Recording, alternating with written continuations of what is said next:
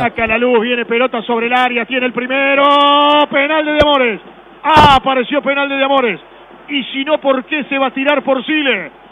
¿Y por qué se va a tirar por Sile que ya había eludido al arquero? Y tenía el arco libre para definir. Primera gran polémica en la tarde. Contragolpea Peñarol. Puede ser el primero ahora de Arezo. Arezo tiró y la pelota va al córner. La pelota va al córner. Por Sile. Cayó en el área. De Amor le dice levantate toda tuya, Veiga, de a uno, de a uno, fue llegando la luz sobre el área carbonera. Bueno, un gran pase de Quintana para dejarlo solo a Porcile que entra de cara al arco, y ahí después de haberlo eludido, para mí hay un toquecito, chiquito pero toquecito al fin, de De Amores, el VAR tiene que intervenir, habrá que ver si el hombro de De Amores, ah, me parece que no, vos sabés que viendo la reiteración, creo que es Porcile que termina tocando a De Amores y después cae dentro del área. De Amores va abajo, eh, se interpone el golero, pero es para revisar, ¿no? Es de interpretación. Bueno, yo lo que digo es que salvo que ese contacto que existe entre brazo del arquero y pie del jugador haya sido para que el futbolista de la luz ah, te haya. Ah, te desestabiliza. A ver, tiempo real te desestabiliza. Si eso desestabiliza, entonces es penal, entiendo a Porcile. Si eso no lo desestabiliza, por sí estaba con el arco libre para tocar la pelota y marcar el tanto porque ya había dejado atrás a De Amores. Claro, ya lo había eludido y estaba en la primera emoción de la tarde. Sin embargo, el VAR lo está chequeando. Yo insisto, es de interpretación. Tiene que ir el árbitro, no se puede guiar por lo que le digan. Para mí, ¿eh? debería ir a verlo y después él tomar la decisión final. Bueno, y después lo otro, ¿no? Habrá que ver si amerita tarjeta amarilla o roja, dependiendo del castigo, para de Amores, si es que se termina cobrando la pena máxima. El árbitro va a tener que venir a verlo. Y lo va a ir a ver. Y lo va a ir a ver. Claro, porque, porque no es. A, ver, eh, el, el VAR lo llama al árbitro y no puede pasar por alto un contacto que existe. Claro, el contacto existe.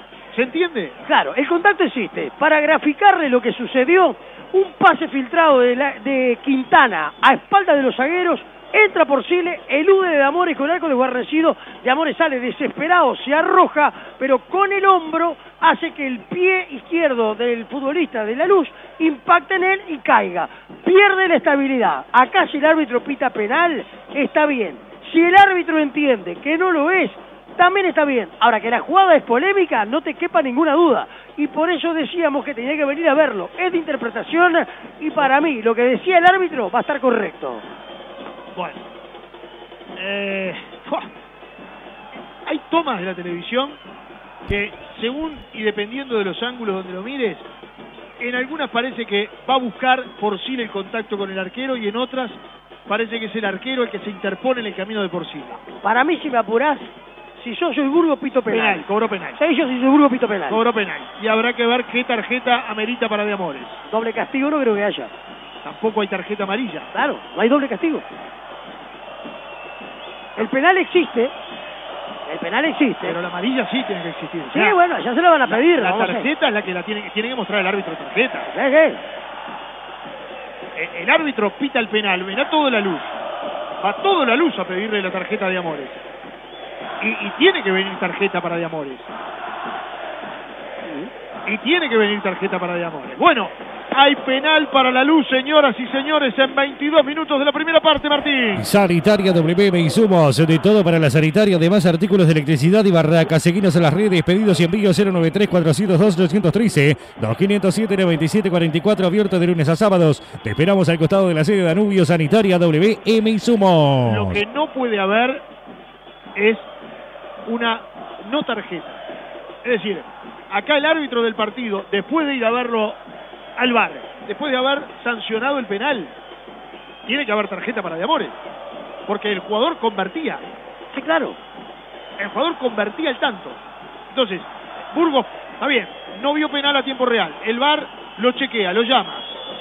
Va, pita la pena. Bueno, debe amonestar al arquero de Peñarol. No lo ha hecho. Va a pegarle a Aníbal Hernández, señoras y señores, 23 minutos.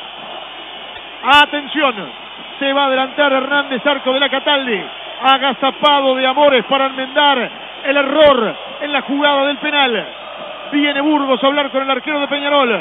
Será de pierna derecha, brazos en jarra para Hernández. Va el 16, el capitán para pegarle. Da la orden Burgos, llega Aníbal. ¡Gol!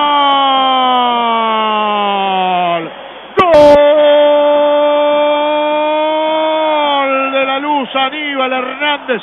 Fuerte, potente, le rompió el arco. Arriba sobre la derecha de Amores que fue para ese lado, no pudo sacarla, pasa a ganar la luz en 23 minutos. Aníbal Hernández con mucha decisión coloca la luz 1. Peñarol 0 en el campeón del siglo. Bien rematado por parte de Aníbal Hernández y quiero ser enfático en lo que manejé previo al penal. Si lo pitaba, estaba bien Burgos, lo pitó Aníbal Hernández, lo cambió por gol, primer llegada de la luz de penal. Lo sentenció Aníbal Hernández, que tras el festejo vio la amonestación por una tontería de Aníbal Hernández. Pero la luz pega la sorpresa, enciende las alarmas el campeón del siglo. Es otro golazo de Superfútbol en Radio Cristal del Uruguay. Respira Cristal. 596. Speedy González se está entregando para Aguirre Garay, otra vez para González. Todo esto en la mitad de la cancha. El pase viene atrás para Damián García, se ofrece Rodríguez. Fue para el cabecita, el cabecita para Rack. Rack con la pelota, Rack otra vez para Sebastián Rodríguez. Controla con la izquierda y cambia de derecha sobre la banda para Kevin Méndez. Kevin Méndez para Lucas Hernández, todo por la Henderson. Va centro de Lucas. Llegaba eso, la sacaron justo. Complementa Paulini, la toma otra vez Hernández. Hernández en el vértice, atrás para Kevin Méndez. Kevin Méndez más atrás para Sebastián Rodríguez. Pide Aguirre Garay. Pide también García. Fue para García. De García para el Vasquito. El Vasquito controla en el puesto del 8. Se viene el Vasquito. Centro para Arezo. De otra vez Paulini. El alto Paulini con golpe de cabeza. No lo puede aguantar por allá la luz. Osores la tira. Va al piso Aguirre Garay. La recupera. Se levanta Aguirre Garay. Mete Osores. Le queda Speedy. Corre Speedy. Al fondo. Atrás. A Cristóforo Arezo.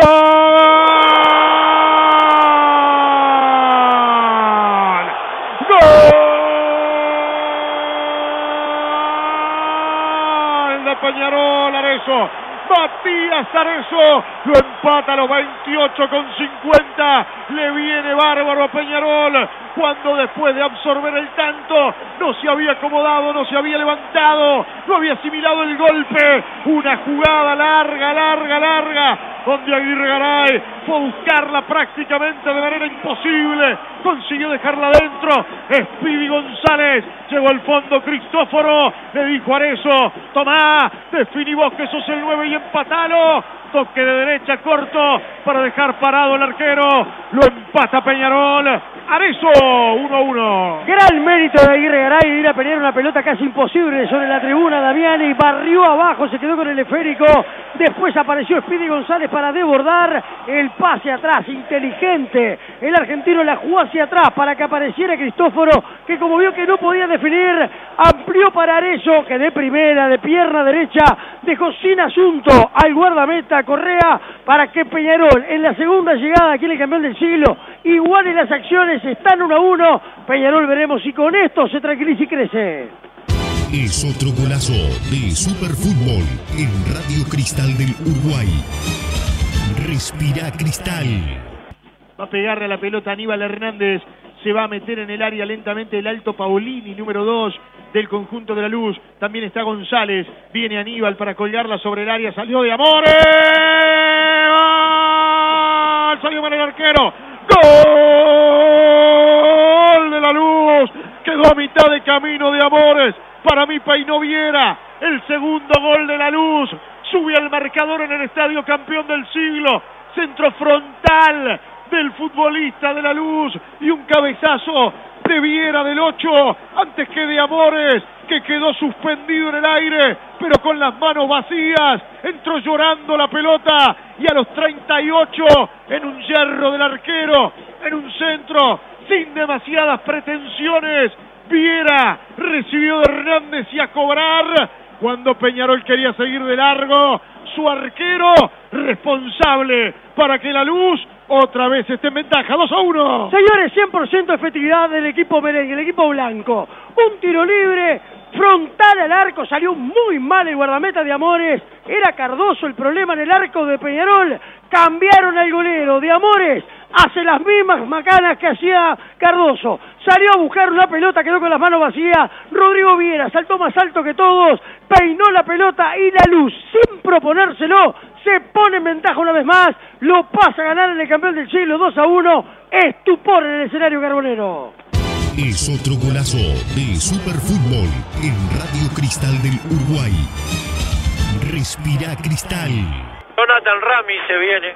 Bueno, viene Ramis, un ex Peñarol para jugar. Le va a pegar a la pelota Sánchez. Desde la derecha le va a apuntar la cabeza de Coelho. De Rack, de Arezo. La verdad que Peñarol no iba a la juego y por ahí la pelota quieta puede ser. ¡Varezo!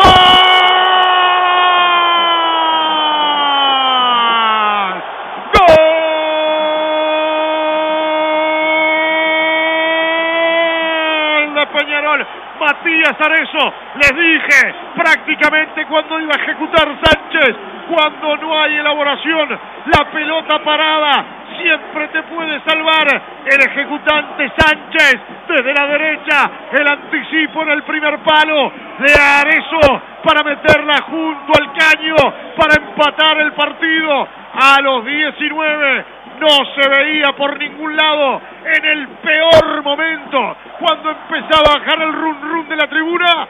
Arezo lo empata. Están 2 a 2. Notable ejecución del Pato Sánchez en el sector derecho, una pelota puesta al primer palo, se durmió toda la luz en la defensa, Arezo saltó y conectó con la frente para dejar sin asunto a Mauricio Correa, lo empata Peñarol, no jugaba bien, pero saca rédito un tiro libre y Peñarol por ahora parece ganar tranquilidad de campeón del siglo.